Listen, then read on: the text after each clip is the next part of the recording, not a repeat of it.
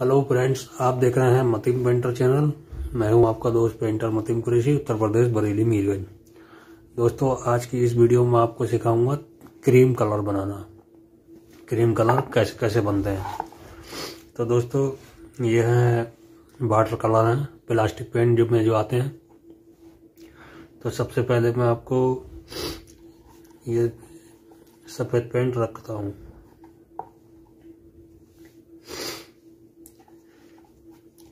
तो बन रही है हमारे साथ तो देखते रहिए वीडियो। वीडियो अच्छी लगी तो कमेंट करना ना भूलें। और अगर आप हमारे चैनल पर नए हैं तो चैनल को सब्सक्राइब ज़रूर करें। दोस्तों, ये मैंने वाइट पेंट रख दिया है। अब देखिए, ये है, ये प्लास्टिक पेंट है। इसको गोल्डन कलर बोलते हैं। गोल्डन गोल्डन येलो इसमें वाइट में अगर हल्का सा येलो मिक्स करेंगे हल्का सा। तो ये क्रीम कलर बनेगा। लाइट लाइट में जो होता है लाइट क्रीम ये देखिए दोस्तों, ये लाइट क्रीम है। और दोस्तों, ये जो स्टेनर आता है फास्ट येलो इससे आप क्रीम कलर नहीं बना सकते। इसे डालेंगे तो ये लेमन येलो हो जाएगा। इसमें क्रीम कलर बनाने के लिए आपको या तो एला ऑक्साइड का इस्तेमाल करना पड़ेगा और ज़्यादा अच्छा जो है वो यही कलर है।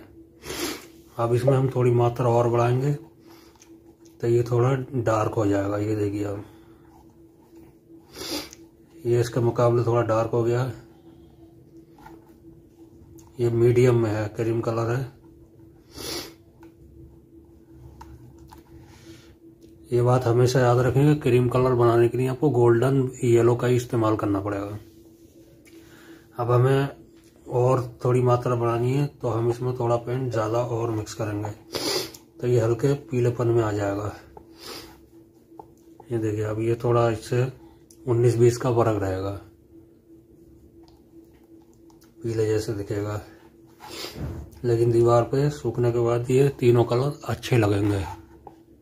और ये जो स्टेनर है, ये येलो ऑक्साइड का स्टेनर है। आप इससे भी क्रीम कलर बना सकते हैं। चाहे तो हल्का सा मिक्स करके। लेकिन ये वैसा क्रीम नहीं लगेगा, जैसा कि गोल्डन येलो से बनता है।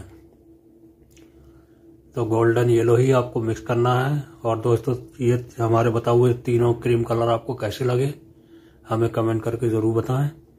और अगर आप हमारे चैनल पर नए हैं तो चैनल को सब्सक्राइब ज़रूर करें। Thank you very much